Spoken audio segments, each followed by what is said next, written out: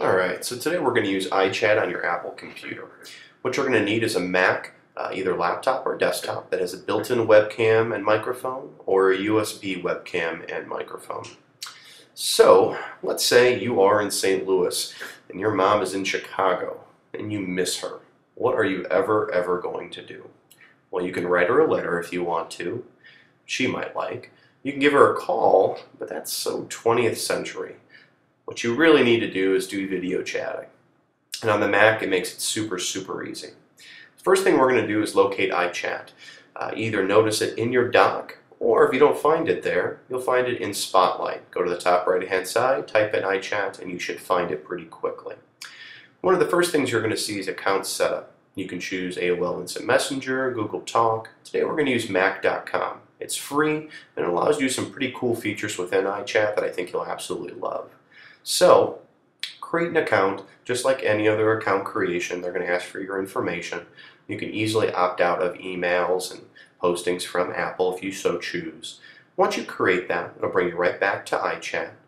And then that will allow you to input your new username and new password. So do that and hit done. Once you do that, you're going to see a little pop up on the left hand side or somewhere on the screen that shows that account. Notice that I'm available. We're going to click Add Buddy to add new person. So I set up an account for my mom. Uh, not that uh, I wanted any random YouTube people to find her. So set that up and hit Add. Notice what happens now. You're going to see a little icon there that showing that she's offline or she's not available. Now she's available, this little green button there. We're going to double click on it and say, hey, what's up? How you doing? This is just like any other instant messenger that we're used to. So we're going to say, hey, you want to do a video chat? She probably would say, yes, absolutely.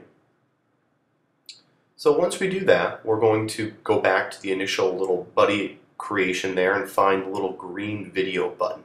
The green video button shows that she is available to do video chatting. So we click that, and you're going to see a little pop-up of yourself. And there's me with all my bearded wisdom and it's going to wait for her to accept the video chat, and then all of a sudden there she is. So you're going to be able to see it in the small screen like that. If you click the little plus button on top of the video screen, you'll be able to go to full screen. Now notice the video is a little bit choppy right now. That's not because the service is not solid, it's just because the video uh, capture service that I did for this computer was a little bit slow. What I'm going to do now is start dragging photos right into the video screen. This is a really cool feature that Apple allows you to do in iChat. So if you just drag the photos right to it, it does something called iChat Theater. You can also do a send to the other person. Notice on the top it says send to mom. But all I'm doing now is just dragging the photos, and we'll be able to talk about those at the same exact time, which is really, really nice if you go on vacation or you have new pictures of the kids, things like that. Once we get done with that, I'm going to do something that really, really makes such life easy on the Apple, um, is taking over people's screens. Uh, and now we're going to mess with some of the effects um, in iChat. So we're able to click on that and actually show off some of the cool effects that you can do on the screen. Um, that's kind of the Andy Warhol picture. You can do some different effects that make it look fun and interesting, uh, which some people love, some people don't. Uh, notice the effects in the bottom left-hand side. What we're going to do now is actually taking over the screen. So this comes in handy a lot when either you have computer problems or you're the geek of the family and you're taking over someone else's computers. So notice I clicked on that and said send screen or screen sharing. And when she accepts this, I'm actually going to take over her computer. So right now this is her computer in Chicago. I'm moving the mouse. I'm able to access any program any, any file, any setting on the computer. This comes in handy a lot if uh, you're the parent and your kids are away from college and you forget how to do something. They can take over the computer screen without trying to explain it over the phone, which is really, really nice.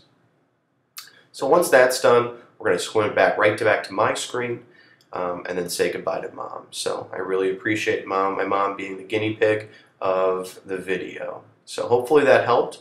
Hopefully you enjoy using iChat. If you have any questions at all, uh, feel free to email me at the email right here. Have a great day.